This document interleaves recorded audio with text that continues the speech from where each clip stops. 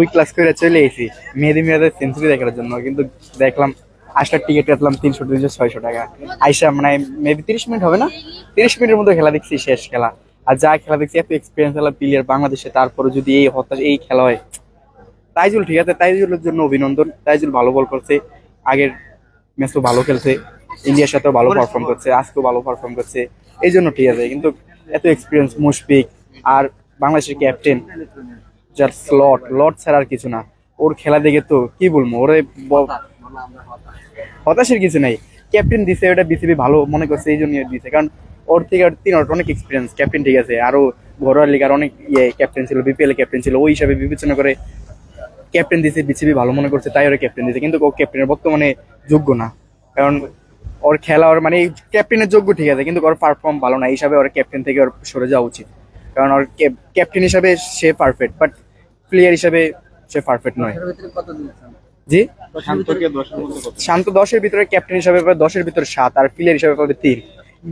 কিন্তু এমনি শান্ত ইয়ার যোগ্য না প্লেয়ার একটা ভালো প্লেয়ার ক্যাপ্টেন হিসাবে যেটা ওর প্রুভ করা উচিত মাঠের ভিতরে ওটা পারে না। এই জন্য ওর উচিত এখন ক্যাপ্টেন থেকে সরে যাওয়া আর ক্রিকেটে মনোযোগ দেওয়া উচিত ওর। লিটন দাসকে নিয়ে কি? লিটন দাস লিটন দাস পাকিস্তানের সাথে অনেক ভালো একটা ব্যাটিং করছে ওই জন্য লিটন দাসের প্রতি একটা এক্সট্রা ভালোবাসা ছিল। কিন্তু বর্তমানে সাউথ আফ্রিকার ট্যুরে এত বাজে ফিল্ডার বলার বাইরে। এত কিপার ভালো দিছে, কিন্তু ব্যাটিং হিসাবে এত ফালতু মানে ওরা দিয়ে এরা আশা করিনি। আর এটা হচ্ছে বাংলাদেশের নিজের মাঠ। সব থেকে বাংলাদেশ যেগুলো মাঠ আছে সব থেকে ভালো খেলে মিরপুরের মাঠে।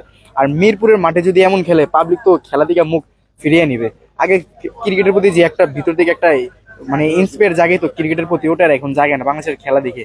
যদি মিরপুর এত দূর থেকে আসলাম মিরপুরে খেলা দুই ক্লাস করে তিন ক্লাস না করে চলে আসলাম ফাঁকি দিয়ে মেয়েদের মিরাদের ফিফটি দেখার জন্য যদি আইসা দেখি এই অবস্থা টিকিট কাটলাম মানে তিরিশ মিনিট দেখছি না সেই তিরিশ মিনিটের মতো দেখছি তারপর এগুলা এগুলা খেলা দেখে বাংলাদেশ আর ভিতরে মানে খুবই দুঃখজনক বিষয়টা। মুশফিক মুশফিক তো লেজেন্ড কিন্তু তার উচিত এখন সরে যাওয়া উচিত অবসর নেওয়া উচিত। কারণ সাকিব বলছিল, যখন যাত্রী হওয়া উচিত, তখন সে নেমে যাবে বাস থেকে। সে এখন যাত্রী। সে হেলবার না, ড্রাইভার না। তার এখন উচিত যাত্রীর মতো সুন্দরভাবে নেমে যাওয়া। তার বাসের ভিতর থাকা উচিত নয় এখন। এটাই মুশফিককে নিয়ে। চাই তা- মুশফিক এটা সুন্দরভাবে, সাকিবের যেভাবে অবসরটা নিতে পারেনি মুশফিক যেন সুন্দরভাবে নিতে পারে। খুব আশা করি খুব শীঘ্রই সুন্দরভাবে যেন মুশফিকের অবসরটা হয়। এটাই প্রত্যাশিত সকল বিসিবির প্রধানের কাছে, দেশবাসীর কাছে এটাই প্রত্যাশিত। সাকিব ঢাকাতে থাকলে ভালো হতো। সাকিব সাকিব হয়তো রাজনীতি করা ঠিক না এটা ঠিক আছে মানে বর্তমানে যেমন জুলুম সরকার আওয়ামী লীগ ওটা থেকে মানে ওটা পর ইয়া পতন হয়েছে ঠিক আছে কিন্তু সাকিব সাকিব ক্রিকেটের দিক দিয়ে সে is great legend in country তার সাথে কোনো প্লেয়ারের কম্পেয়ার করা উচিত না। কারণ সাকিব আমার মনে হয় তার হয়তো তিনি রাজনীতি করছে ঠিক আছে কিন্তু আমার মনে হয় না তিনি একজন পাবলিককে খুন করবে একটা গার্মেন্টস কর্মীকে কত কোটি টাকা তার যদি খরচ করে তাহলে সাকিব খুন করবে একটা কর্মীকে সাধারণ পাবলিককে আমার মনে হয় না তার একটা ঢাকা টেস্টে সাকিব থাকলে ভালো হতো কিনা বা মিস করছেন কিনা? সাকিবকে অবশ্যই মিস করছি সাকিব মিস করছি হয়তো হ্যাঁ সাকিবের ঠিক আছে সাকিব আমি মূলত ফার্স্ট দিয়ে আইছিলাম সাকিবে মনে করছি মানে সাকিব না থাকলে ওই প্রচুর উত্তেজনা টাইপের অনেক দর্শক দেখছিলাম। ওই দিন আমার মনে হয় বাংলাদেশের ইতিহাসে সবচেয়ে বেশি দর্শক হইতো ওই দিন। কারণ আমি বাইরে গেছিলাম, বাইরে টিকিটই পাইনি প্রথম পর্যায়ে। পরে শুনি এক নম্বর গেটে পরে ওই জায়গা থেকে অনেক ব্ল্যাকের টিকিট নিয়েছি অরিজিনাল টিকিট আমি পাইনি।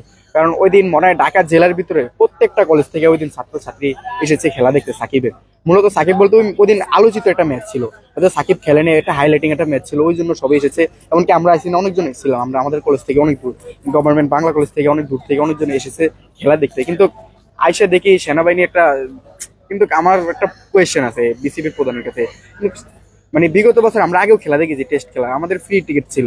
স্টুডেন্টদের জন্য ফ্রি ছিল। কিন্তু বর্তমানে এই যে আমরা কিছুদিন আগে সেনাবাহিনীর একটা স্যার তিনি বলল, তিনি বিসিবির প্রধানের সাথে কথা বলেছে, তিনি বলেছে বিগত বছরও নাকি ছিল না। মানে কার্ড দেখে ইন্টারন্যাশনাল ম্যাচের টিকিট কিন্তু এটা শুনে হয়তো টিকিট ছাত্ররা খুবই খেপেছে তার উপরে। কারণ তাকে তো আমরা ছাত্ররা এনেছি। তাকে তিনি এটা স্টুডেন্ট ছিল। আজকের এই পর্যায়ে যদি আওয়ামী লীগ সরকারের যদি পতন না হতো তাহলে তিনি এই পর্যায়ে যেত না। ছাত্রদের কারণে তিনি এই পর্যায়ে। তার মনে হয়? এই- এই টেস্ট আসলে ঢাকা টেস্টে বাংলাদেশ সাত উইকেটে হারলো চট্টগ্রামে যাওয়ার পরে। টেস্টটা কি আসলে একটা সিরিজটা ড্র হতে পারে নাকি হারবে বাংলাদেশ? বাংলাদেশ এটা তো আসলে বলা যায় না কারণ চট্টগ্রাম থেকে এই এই পিচের কন্ডিশনটা বাংলাদেশের ফেভারিট কারণ এই পিচি বাংলাদেশ এই অবস্থা হয়তো এই দিক থেকে আবার একটু বাংলাদেশ ওই জায়গায় একটু লো হবে। ফেভারিট হোম গ্রাউন্ড হচ্ছে এটা বাংলাদেশের টিমের কিন্তু এই জায়গা থেকে ওই জায়গা তো একটু ডিফিকাল্ট হবে। এই জন্য আমি বলতে মনে হয়, আমার কাছে মনে হয় এই জায়গা থেকে ওই জায়গা আরও খারাপ করবে। আমি আল্লাহ ইচ্ছা, আল্লাহ যদি অন্তর সহায় হয় তাহলে একটা ভালো কিছু করার আশা আছে।